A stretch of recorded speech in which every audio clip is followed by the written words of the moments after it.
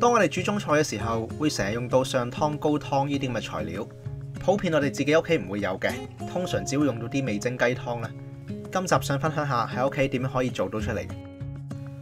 嗱，首先我哋會有兩嚿嘅鮑魚骨，鮑魚骨唔係喺鮑魚嚟㗎，喺豬上面嚟，豬肉檔有得賣㗎啦。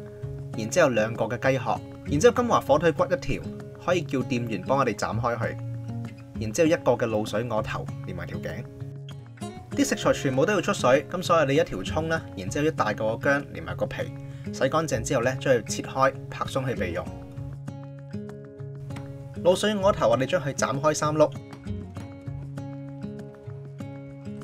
雞殼我哋洗乾淨之後，將佢一開二，都係一樣擺埋一邊備用先。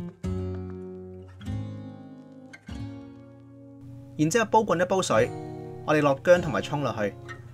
當佢滾嘅時候，我哋將雞殼放落去，然之後咧放埋嗰個滷水鵝頭啊。出水嘅過程大約係三分鐘啦。你放落去之後咧，將啲食物煸一煸油啊，將佢啲污糟嘢雜質咧煸咗出嚟之後，就可以攞去沖水噶啦。咁三四分鐘左右啦，當佢啲水滾起翻冇耐咧，就可以拎翻起噶啦。然之後用翻同一煲水，將金華火腿骨兩個嘅鮑魚骨放落去出水。呢個比較耐啦，我哋要出去二十五至三十分鐘嘅。呢個時候可以將我哋嘅滷水鵝頭同埋呢個雞殼呢，用凍水將佢沖翻凍，然之後將佢殘留喺表面上面嘅雜質啊、污糟嘢呢，都捽走佢。沖乾淨之後，我哋擺埋一邊備用。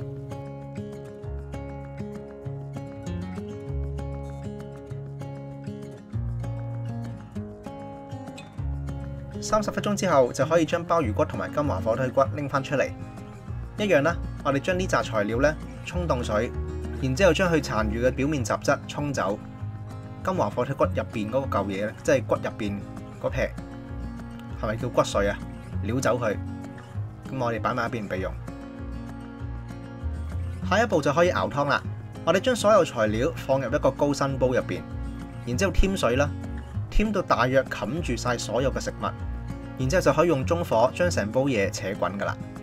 當你開始冒煙、開始想滾嘅時候呢，咁大家要收翻個細火啊！我哋盡量唔想令煲嘢滾啊、濁啊咁樣樣嘅。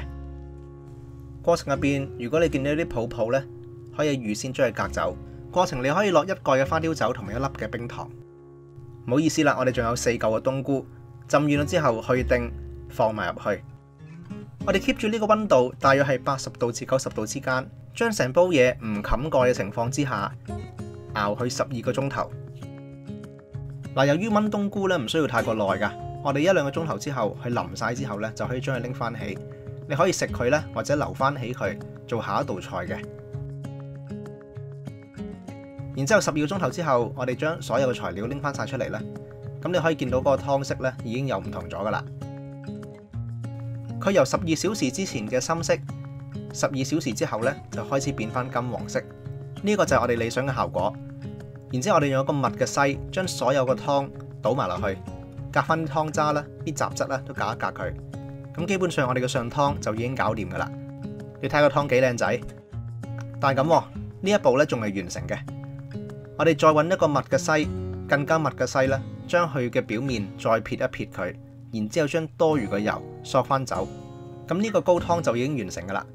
用途都好多噶，例如係燜下粉絲煲啊、龍蝦煲啊，又或者係燜下鮑魚啊，呢啲絕對啱用。用剩咗可以將佢放喺冰格，用嘅時候溶翻雪就 OK 噶啦。好啦，今集嘅分享到此為止，多謝收睇，拜拜。